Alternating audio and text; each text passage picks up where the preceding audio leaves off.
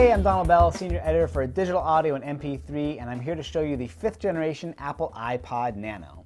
At first glance, not much has changed compared to the Nano we saw a year before.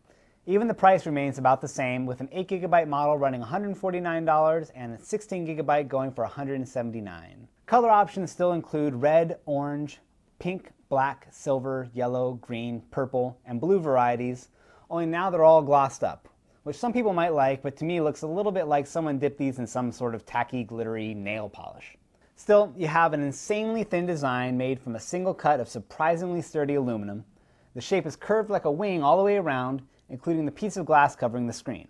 The screen is larger now. It's 2.2 inches instead of 2 inches, which may not sound like much, but it does a better job showing off videos that have a wider aspect ratio. On the bottom, you can see that Apple flipped around the placement of the headphone jack and the dock connector, which may mean that you'll need to use the dock adapter Apple provided in order to get the Nano to fit correctly in any existing speakers or accessories you have. But the biggest change by far is on the back of the Nano. You now have a video camera that can capture decent 640 by 480 resolution video at 30 frames per second. There's also a little pinhole microphone next to the lens for capturing sound. Overall, the video quality is about equal to what you get from a modern cell phone. It can't compare to the image quality of something like the $200 Flip Ultra HD, but then the Flip is about four times as thick and doesn't include the dozens of other features found on the Nano, so you'll have to pick your battles. Another cute little extra built into the Nano's camera are a handful of special effects, which are fun, but a little gimmicky. Overall, the camera is a nice extra on the Nano, but I have to admit, the awkward placement of the lens will tend to make most of your videos start out with a close-up of your fingers. Also, it's a little disappointing that you can't just snap a still photo. But hey, for $149, a killer MP3 player with a video camera isn't a bad deal.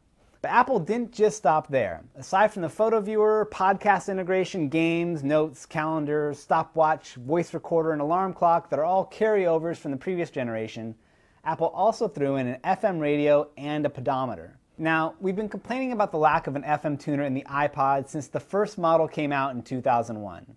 I have no idea why Apple finally relented, but we should all be glad they did, since the radio here is one of the best you'll find.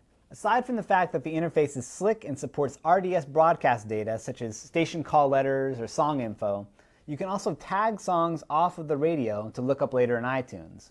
Of course, the Microsoft Zune HD will also give you RDS data and song tagging, as well as HD radio support, but Apple has one more trick up its sleeve that Microsoft doesn't a pause button.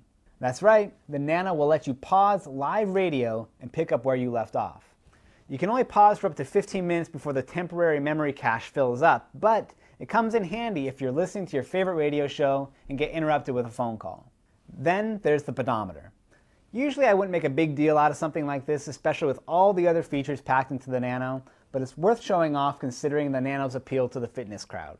After entering in your current weight, the Nano offers a basic calorie and step counter. When you connect the Nano up to your computer, iTunes will ask if you want the pedometer data to be uploaded to the Nike Plus iPod website, where you can keep track of your progress. So that about covers all the new and notable features of the fifth generation iPod Nano. It's a pretty amazing product given how slim and light it is, and with all the features that Apple's thrown in, there's bound to be something you'll enjoy. For CNET.com, I'm Donald Bell.